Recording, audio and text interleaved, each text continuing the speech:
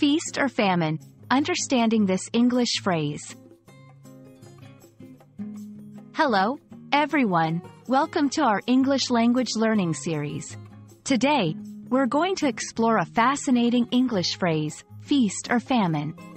This phrase is not only interesting but also very useful in daily English conversations. Let's dive in and understand what it means and how you can use it effectively.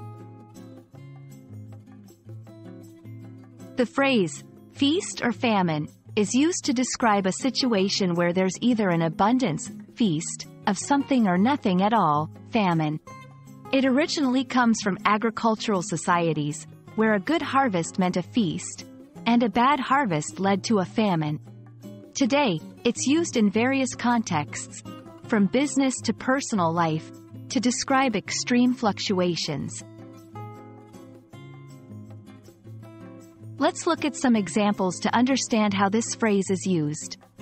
1. Work situations. As a freelance writer, I often experience feast or famine. Some months I have more work than I can handle, and other times, hardly any. 2. Business cycles. The stock market can often be a case of feast or famine, with periods of high returns followed by times of significant losses. 3. Personal experiences. When it comes to my social life, it's either all or nothing, a classic case of feast or famine. Now that you understand what it means and have seen some examples, try to use feast or famine in your conversations. It's a great way to describe situations with dramatic changes or inconsistencies.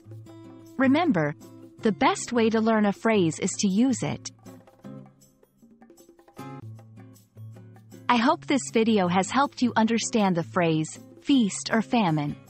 Remember, English is full of interesting phrases like this, and learning them can make your language skills richer and more vibrant. Thanks for watching, and see you in our next video.